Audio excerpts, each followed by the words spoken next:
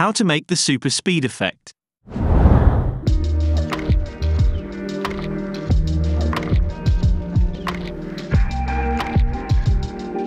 Today's video is sponsored by some random guy.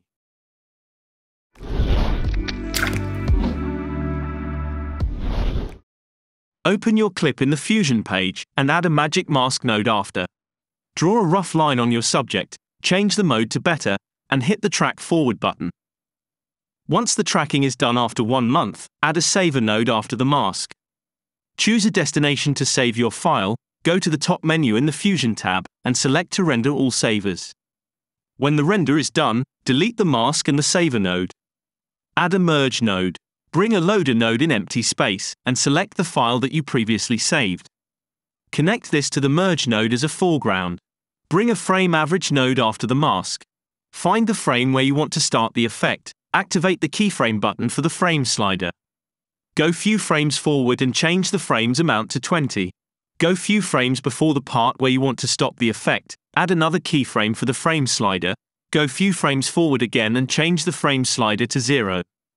If you have another part that you want to apply the effect, just repeat the keyframes again. Bring an echo node after. For this you need to install the Reactor plugin and activate the echo tool. Activate the keyframe button for the echo frame slider, change it to 0, and animate it the same way you did with the frame average node. Bring down the echo gain slider around 0.5. Select the merge node and add another merge node after. Connect your mask node to this second node to get the person on top of the trails. Play around with the blend slider to find out what works best for you. Go back to the edit page, right click in your clip and select to render it in place. Once this render is done, you can play back your clip finally. If you want, you can right click and select the retime controls. Click to this small arrow and add a speed point to the part that your effect is starting.